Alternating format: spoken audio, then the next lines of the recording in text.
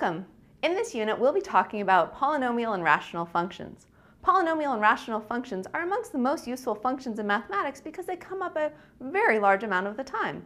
When you get into your calculus courses, one of the first things you'll learn is how to do calculus with polynomial and rational functions. Well, what is so special about these two types of functions? A lot of real-world Examples from engineering, physics, business, biology, etc. involve polynomial and rational functions, which is why we're going to spend a particular amount of time studying these. Let's begin by defining these functions. A polynomial function is simply the sum of terms involving powers of x. Here, x is some variable, and the powers, the n, the n minus 1, etc., that you see listed here, are just integer numbers. They could be 0, 1, 2, 3, 4, etc. The coefficients of each term, the denoted by the a's here, each coefficient is just some constant number. That constant number could be anything. It could be 2, it could be 7, it could be a half. Those a's are just holding the place of constants. When we sum them up like this, we call that a polynomial. Another type of function we'll be dealing with is rational functions. Rational functions are simply the ratio of two polynomials. So a rational function here, I've denoted as r of x, is the ratio of two polynomials. In the numerator, you have p of x, in the denominator, a q of x. The one special stipulation we want to make is that the denominator should not equal 0. So when we talk about the domain of rational functions, we'll always specify that the denominator polynomial cannot equal 0, so that q of x will not equal 0. Let's give an example of when we might encounter a function that's a polynomial or a rational function. In this case, let's talk about the most popular polynomial, in my opinion, the quadratic equation. Well, a common example that you've probably heard before is projectile motion. In physics, you'll probably take a course where you learn about the projection of a ball. When I throw a ball with a particular velocity, what is the trajectory of that ball? And we'll ask lots of questions like, how long does it take for the ball to fall back into my hand? How long does it take for the ball to reach a certain height? What is the maximum height this ball reaches? Or if I drop this ball, how long does it take the ball to reach the ground? These are all questions that we can answer using polynomial functions.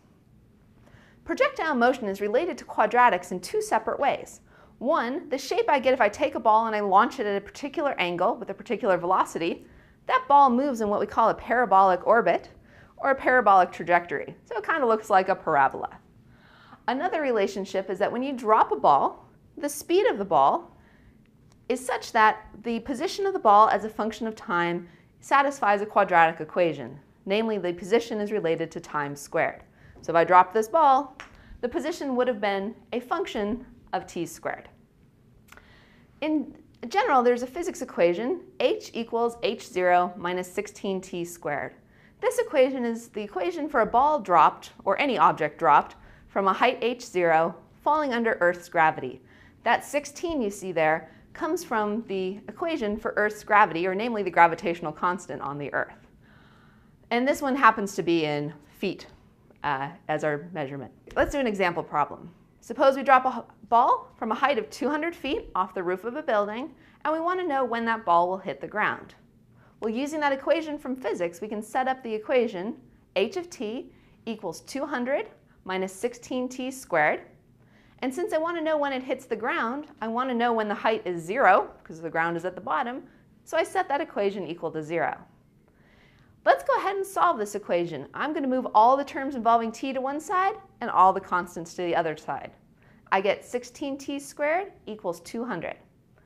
Now if I solve for t, I can divide both sides by 16, and I get t squared equals 200 over 16, or I can simplify that to 12.5. Finally, if I want to get t by itself, I know t squared is 12.5, so t must be the square root of 12.5, which if you bust out a calculator here, that's 3.54 seconds. You might be asking yourself, well, when I take t squared equals something and I take the square root, don't I get a plus or minus? You're right. Normally you would say plus or minus the square root of 12.5, but because here t represents time, time can't be negative, so we'll only be talking about the positive values of time, and that's why I just picked the positive 3.54 seconds. So there's an example of how we would use a polynomial, in this case a quadratic equation, to solve for an important information from an application problem. Let's move on. What are you going to learn in this unit? Well, in this unit, you'll learn several skills involving polynomial and rational functions. Namely, you'll learn to solve quadratic equations, which you've probably already encountered in this course earlier, but here we're going to be focusing on three main techniques. You're going to be solving quadratic equations by factoring, something you've already played with a little bit.